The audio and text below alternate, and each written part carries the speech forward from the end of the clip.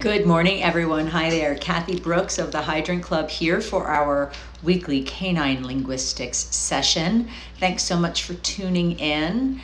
Um, I know we missed last week. Uh, girl, girl, girl had to take a break, and I had some stuff going on, so apologies for not being here with you last week.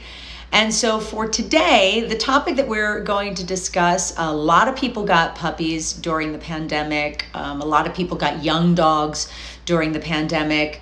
Um, and, and so I've been getting a lot of uh, calls and emails from folks regarding uh, puppy teething.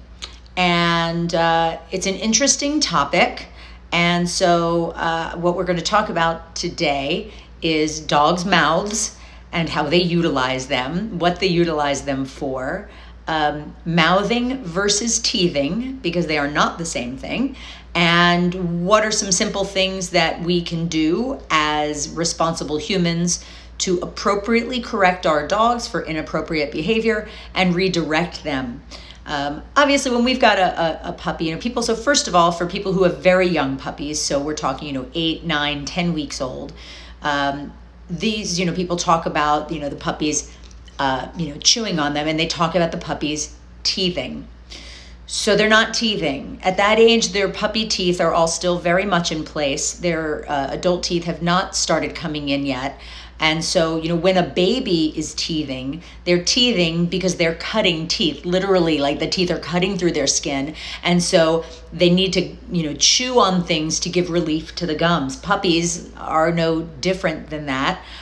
So, a puppy, an eight week old puppy or a nine week old puppy that starts chewing on your hands isn't teething on you, it's mouthing on you. And what does that mean? Um, and uh, and greetings to the folks who are chiming in. Christopher, always good to see, always good to see your name. And uh, my friend Christopher, uh, also known as VGK Warmies guy, he's a, a, super fan of the Vegas Golden Knights. Go Knights, go! Okay, so and you'll notice I am wearing a VGK hat. It's my Bark Andre furry hat. Okay, so when a puppy starts putting its mouth on a human, um, you know, so keep in mind, you know, puppy is born, puppy can't see, puppy can't hear, puppy can only smell, and its only interaction at that point is with its mother, um, obviously suckling on the mother um, to feed. Um, the puppy, as it is interacting with its mother, will mouth on the mother, and the mother will respond to it in kind. This is, uh, you know, they don't have opposable thumbs dogs and so they are holding on they're you know getting that intimate connection um, through through the mouthing gesture there's a point though where the puppies would be mouthing on the adult and it would no longer be appropriate and they would be corrected for it um, there is a very common misconception about how to address it when a dog bites down on you, um, whether it is in play or otherwise. And that common misconception is to yelp or to utter a squeal. This is just about the worst possible thing you can do because what you've just done in that moment is not set up a uh, superior to subordinate relationship or authority to follower relationship. You have just set up a peer based or even a subordinate based relationship because when two dogs are interacting with each other and chewing on each other uh, and one dog kind of yelps or whimpers a little almost like the dog version of saying uncle okay you got me let me go what they're doing is they are ceding their authority they are giving in to the other dog so when i yelp or make a noise of, of discomfort at a dog at a puppy chewing on me i have established the foundation that that dog is superior to me, which is incredibly confusing, especially if we're talking about a young puppy. Let's be really, really clear. Dogs are not people. They are not furry people. They're not little furry people. They are not our fur babies. We can use whatever words we want. And yes, we love them and they're beloved members of our family, but they are dogs. They are not people. They do not think like people. They do not experience the world like people. Um, doesn't mean that they don't have the same feelings that we have. Doesn't have mean they don't have uh, emotions about things. But much like a preverbal child, they don't know what those feelings or emotions necessarily mean. They just have the emotion or the feeling. It's very, very primal, very, very uh, kind of a, a primitive emotional state. So when a puppy is mouthing on me, an appropriate response would be to very gently take the puppy's mouth. So if this, let's say this is a puppy. Actually, hey, Harlow, can one of my kids come over here? Come here, Harlow. Okay. I'm to show you. So let's say Harlow's mouth were on me. I would very gently take my other hand, open her mouth, remove my hand, sorry, baby, remove my hand from her mouth, and just very, very gently hold her mouth and just say no. That's it. Very, very simple. When we're talking about a tiny little puppy, the, uh, oh, and people are saying hi, Harlow, so Harlow's going to wave. Um, when we're talking about a very small puppy, when we're talking about uh, a, a young dog that's just learning, the gestures that we use need to be firm, but they're very, very gentle. It's the uh, uh, velvet glove over the strong hand. It is a very firm but very gentle gesture. I don't grab the dog, I don't give the dog a sharp correction for a gentle redirection of something that the dog doesn't understand what it's doing wrong. It's a puppy being a puppy and putting its mouth on another living being to see are you a peer of mine or are you a superior to me?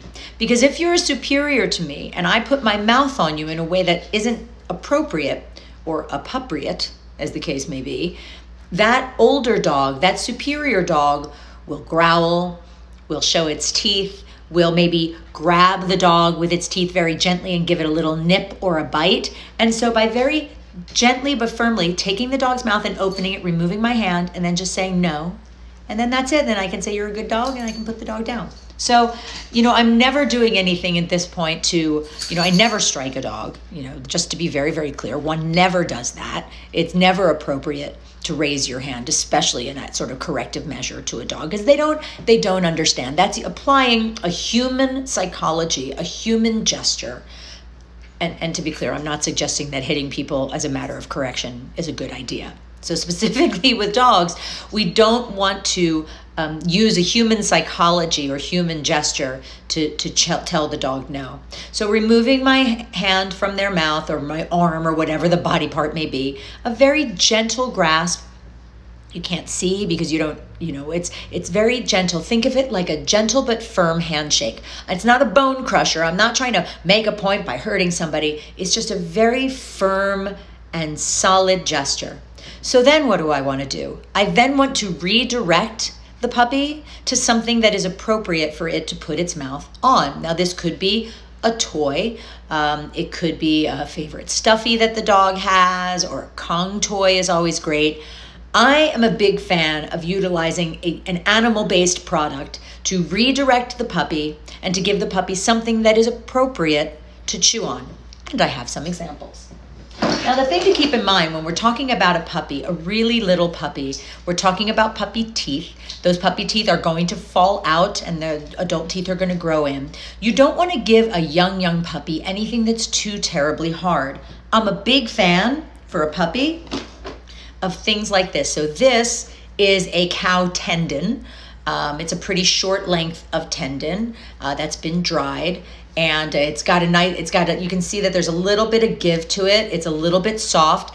As the puppy chews on it and kind of gets that up in there and chews on it it will soften. Um, it is completely organic. You know if the puppy you know bites off a little piece and chews it up and swallows it the puppy can digest it. It is completely organic. We get our um, cow based or pig based or goat based or any animal based products uh, only from USDA certified organic um, healthy. They're all you know free range, eating good feed, no antibiotic, no antibiotics, no hormones, etc., etc. So everything that went into those animals is healthy. They were uh, raised in a healthy way. The the slaughter was done in a humane sort of way, um, and so the animals lived, you know, happy lives till they went to their their purpose. And um, it's so funny. All of my dogs are sitting down here right now. You'll get some later. So a cow tendon is a great solution for a puppy or a smaller dog. Now we have you've probably heard of bully sticks. Uh, for those of you who don't know what a bully stick is, um, if you've heard the phrase "hung like a bull," that tells you what part of the bull anatomy a bully stick is. So there's bully pizzle or bully stick. So the pizzle is going to be more of a just a a, a narrow kind of a slender piece. You can get them thicker. Um, you can actually get them braided. So this is multiple pieces of that bully stick that have been braided. You can get them roasted. You can get them freeze dried. You can get them in different lengths. They can be odor free or natural. There's all sorts of permutations um, and it's a good, healthy, organic again treat that you can give the dog. This isn't something you just lay around and let the dog get it whenever they want. Using it as redirection, using it as a reward, um, using it after at the end of a training session when the dog has done a really great job. Those are great options. So in addition to bully pizzle, there's also various, um, as well as tendon, there's also various muscles. So this is actually um, beef weasand, which is a kind of a backstrap muscle that comes off of the rear end of the cow, kind of right above its uh, hind leg, above its thigh. In this case, this one was actually done as a pretzel, which is super cute. Um, they often just come in a long strip, which you can cut into various pieces. And that's a good, um, again, it's tough enough to give them something to really get their teeth into, but it's not so tough that they're going to do damage to their teeth. So we also have, I have a trachea in here. I don't have a long trachea, but I have a piece of trachea here. Cow trachea, um, you know, bovine uh, or uh, porcine, pig or lamb trachea is a great solution for dogs. Um, it, it's a great source of glucosamine and chondroitin, which is great for dogs' hips. Uh, it's also got a lot more toughness to it. It's something that will take the dog a lot longer to consume. Uh, I'm going to withhold talking about power chewers, you know, some of the bully breed dogs and the larger breed dogs. We'll talk about them at the end. But, you know, your average chewing dog, it's going to take them a little while. Trachea can be found in all kinds of different lengths. This is obviously just a small ring that has a piece of uh, beef lung, roasted beef lung kind of wedged into the middle. And then uh, you can get it in three inch, five inch, seven inch, as well as full length trachea. So depending on the size of your dog, Again, this isn't something you're just going to leave down for your dog and leave down you know forever it's something that you want to give the dog as a reward after a meal etc etc Ooh, what else do I have in my goodie basket here? All right. So you see people talking about antlers. So antlers, um, you, what you want to do first of all, if you're going to use antlers as an alternative chew, something for to redirect your dog to, I'm a big fan of the split antler because what the dog's really trying to get at is that marrow in the middle there, which if it is a whole antler, the only place it's going to get to it is there at the end. Um, antlers are hard. They're really, really hard. Much like a dog bone, you want to be careful with the age of the dog. A much older dog, not a great candidate for antlers. A very young dog that's just developing its teeth, probably not a great a great solution either. Um, so you want this to be a late adolescent to adult dog. The power chewers and antlers a great solution, but you also want to be really careful. Uh, antlers can crack and splinter. Um, you've got deer, you've got elk, you've got moose, you've got all sorts of different, uh, obviously, animals that have antlers. There's also different kinds of horns you can get from different kinds of water buffalo and the like. Um, you want to make sure again that the sourcing for these is um, is healthy. When we're talking about antlers, a lot of the time you want to go with a vendor that's actually taking naturally shed antlers as opposed to necessarily killing the animal to get them because that can lead to um, kind of evisceration of, of entire populations. All right. Now, if you've got, uh, what did we talk about that one? We talked about that one. Okay, so now we start getting into dog bones. Um, so in this case, what we have here is a piece of a femur that's been sliced up. So there's six different pieces in here. There's marrow in the middle of that. This is for a small dog. That dog can get to that marrow really well, can kind of eat all the gunk off the outside. What's nice about these is that you can boil them in some hot water once the dog has finished with everything. You could put some peanut butter in the middle, and shove it in the freezer, and you can get a couple more uses out of it. The thing to keep in mind, whether it's little bones like this or a big ass bone like this one, obviously for your big power chewers, you really just don't want to leave it down for the dog to the dog for the dog to get to it at any point in time. Um, you really want to use it again as a reward, as a treat, as a redirection, um, especially for the younger dogs. But again, with the younger dogs, you want to redirect them to something that's not going to damage their teeth. I walk into a lot of clients' homes and I'll see the, the full size version of one of these not sectioned. And you see these just deep grooves in it where the dog's just been kind of worrying at it and worrying at it. That's ultimately not great for the dog's teeth. There's no real nutritional value for the dog at that point in time. And it can actually create additional anxiety by giving the dog something that is like it's really chewing on. So the really important thing to think about here though is, is that when a dog puts its mouth on another dog, for example. So if I'm a young dog being corrected by an adult dog and that adult dog bites down on me, my response as a dog is to relinquish authority to that older dog, to that superior dog. My body's going to relax. I might utter uh, that vocalization, that whimper or the yelp, you know, kind of the acquiescing to the superior dog, and I stop moving. And what'll happen with a well balanced adult or well balanced superior dog in that moment is they may give just a little shake and then they'll release and they'll leave them be. Now, if the dog being corrected fights in any way, you know, or struggles in any way, you could actually get a fairly, fairly serious altercation that ensues. So, let me explain to you why I just shared that information. So, what happens when a dog bites down on a human? On your average human, someone who's not a trained professional who's gotten bitten in the course of work or things like that, but in your average person, when a dog bites down, what's the first thing we do? They yell. And then they start to thrash or pull away. And what happens in that moment is the dog's instinct kicks in. The dog bites down harder, may even start shaking, um, and prey drive can be catalyzed in that moment.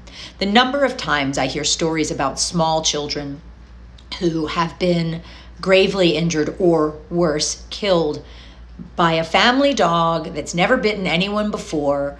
Um, you know, so A, you've got adults who have left a child alone with a dog, which is just a bad choice. And second of all, what's probably happened, because a lot of those bites are around the neck or the shoulder or the face, what's probably happened in most of those situations, and probably the vast majority of them, is that the child was doing something that was irritating to the dog, or bothersome, or that it shouldn't have been done, doing.